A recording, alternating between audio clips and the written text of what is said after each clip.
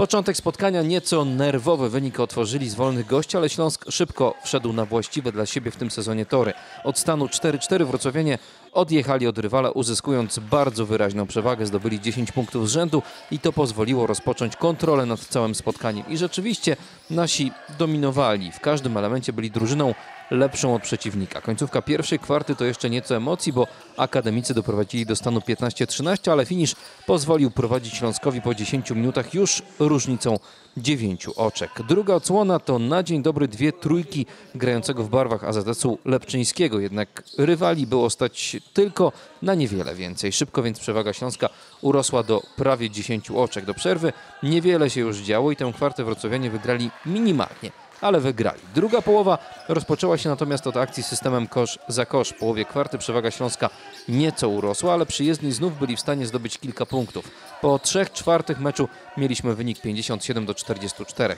Ostatnia odsłona już bez większych emocji. Gospodarze napędzali ataki twardo bronili, wyprowadzali kontry, które zamieniali na kolejne punkty. Po 35 minutach mieli już 20 oczek więcej, ale było im wciąż mało. W ostatnich fragmentach dobili jeszcze przeciwnika. Najwięcej punktów dla Śląska, tym razem 19 uzyskał Kacper Gordon, niewiele mniej, bo 18 rzucił Jakub Musiał. Double-double zanotował natomiast Tomasz Żeleźniak. Do 12 punktów dołożył 12 zbiórek. Dla Śląska to już 11 wygrana w sezonie. Wrocławianie umocnili się na prowadzeniu w tabeli grupy D drugiej ligi. Serial zwycięstw trwa, ale wrocławskim kibicom absolutnie akurat taka seria się nie nudzi. Zespół WKK został dobrze przygotowany do sezonu, ma bardzo duży potencjał i potrafi go wykorzystać na parkiecie. Cieszy przede wszystkim systematyczność. Wrocławianie, jak każdy zespół, mają momenty lepsze i gorsze, ale poniżej pewnego poziomu nie schodzą. W sobotni wieczór znów pokazali, że potrafią nie tylko brylować ofensywie, ale też ciężko pracować w obronie. Przeciwnik zdobywał średnio 15 punktów w kwarcie, co wystawia graczom WKK bardzo dobrą notę. Spotkanie z Poznaniem nasi rozpoczęli kapitalnie, po 5 minutach prowadzili aż 13 do 0 i ta sytuacja pewnie rozróżniłaby każdego. Druga część pierwszej kwarty należała do przyjezdnych, którzy seriami zdobywali punkty.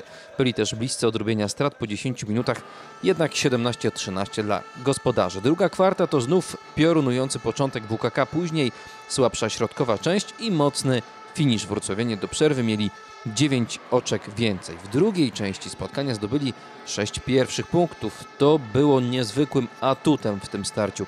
Za każdym razem pierwsze akcje po przerwach były dla WKK. Przewaga podopiecznych Tomasza Niedbalskiego w tej części sięgała już 20 punktów. W ostatniej odsłonie od stanu 66-43, gdy wszystko było już rozstrzygnięte, poznaniacy dostali trochę więcej miejsca na parkiecie i to wykorzystali. Ostatecznie WKK odnosi siódme zwycięstwo z rzędu. Lider Wrocławian Piotr Niedźwiecki zdobył 26 punktów i zebrał 14 piłek. Co ciekawe, potrzebował na to ledwie 24 minut. Dolnośląski zespół jest obecnie trzecią siłą pierwszej ligi.